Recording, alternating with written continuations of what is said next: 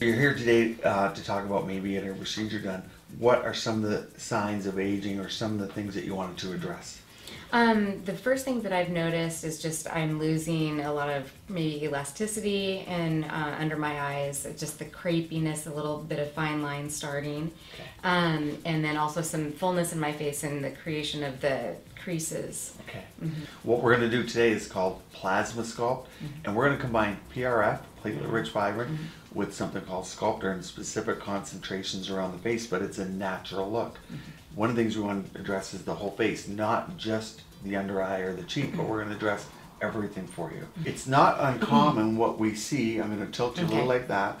The under eye is some of the thinnest skin in the body.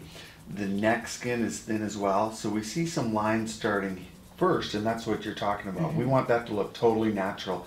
The other thing on the female is the lower face often ages more than the upper face, and we see some of that here with some lines and folds. And what we want to do is tighten it, but I don't want to add a lot of volume because that's going to look fake. We're going to do something that's very natural, that's your own skin, that helps with elasticity and collagen growth.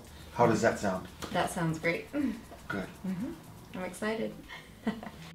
So the first thing we're going to do with this procedure, we're going to put a nice numbing cream on. We're going to keep it very comfortable for you. So go ahead, Catherine, and apply.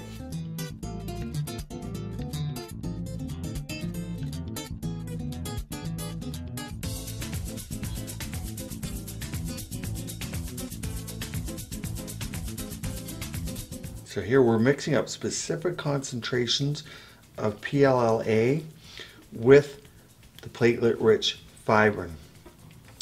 We do specific concentrations because some of it's going on the deeper layers, some is going on into the soft tissue, and therefore we need different concentrations of product.